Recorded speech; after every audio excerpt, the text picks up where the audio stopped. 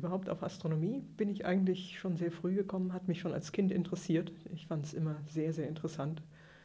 Und das waren vor allem die großen Fragen, die mich da interessiert haben. Wie eben ist das Universum entstanden? Wie ist unsere Milchstraße entstanden? Wie ist die Erde entstanden?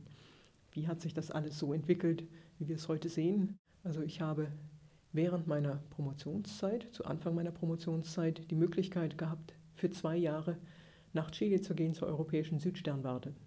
Und eines der Angebote der Europäischen Südsternwarte ist, dass Studierende aus Mitgliedstaaten wenn sie dann mit der Promotion anfangen, für zwei Jahre als Doktoranden nach Chile gehen können und an der Europäischen Südsternwarte eben selbst auch arbeiten können. Und die Möglichkeit habe ich damals wahrgenommen, war natürlich hochinteressant. Ich war auch eingebunden dann in den Observatoriumsbetrieb und mitverantwortlich für manche der Instrumente und konnte eben sonst an meiner Doktorarbeit arbeiten. Auf die Weise hatte ich Gelegenheit, selbst auch viele Beobachtungen durchzuführen. Ich habe Daten gesammelt, vor allem eben zu sogenannten Sternpopulationen. Das heißt letztlich eben Regionen, in denen man einzelne Sterne noch wahrnehmen kann, noch unterscheiden kann, die sich aber dann zum Teil schon in anderen Galaxien befinden, also in nahen Galaxien in dem Fall. In meinem Fall vor allem die Magellanischen Wolken, aber auch eben andere nahegelegene Galaxien, die mich da interessiert haben. Alles kleinere Begleitergalaxien unserer eigenen Milchstraße, also Zwerggalaxien. Und Zwerggalaxien wurden dann auch ein wesentliches Thema meiner Doktorarbeit.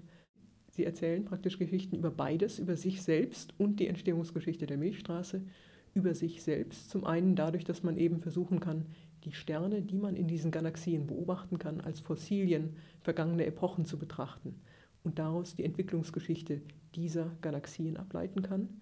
Zum anderen, weil diese Galaxien selbst mit Bausteine sind von größeren Galaxien, wie eben unsere eigene Milchstraße.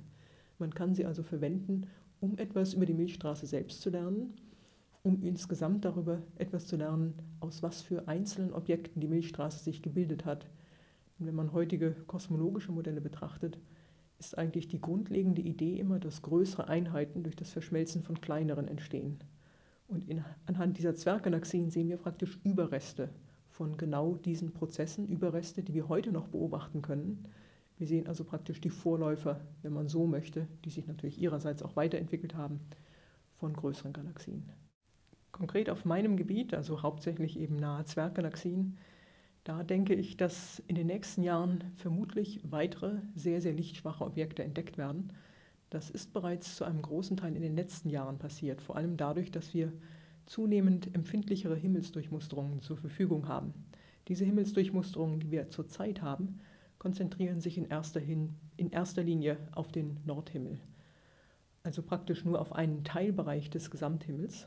In den nächsten Jahren sollten weitere Durchmusterungen zur Verfügung stehen, die eben auch den Rest des Himmels abdecken.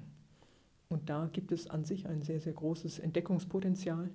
Wir gehen davon aus, dass es sehr viele noch unentdeckte Zwerggalaxien gibt, die zum Beispiel die Milchstraße umkreisen, aber eben auch Zwerggalaxien in größeren Entfernungen und dass wir die mit diesen neuen Durchmusterungen an sich sehr, sehr gut nachweisen können sollten und eben dann hoffentlich auch charakterisieren können sollten.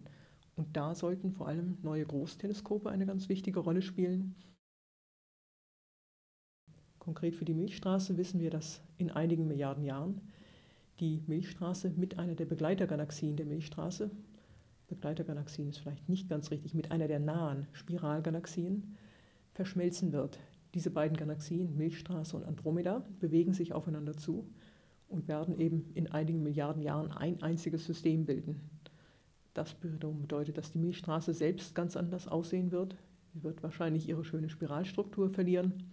Es gibt allerdings dadurch, dass neues Material von der anderen Galaxie dazukommt, auch nochmal eine Phase intensivierter Sternentstehung. Aber man geht davon aus, dass das Endprodukt konkret für die Milchstraße und Andromeda dann eine einzige elliptische Galaxie sein wird, ohne diese schöne Substruktur.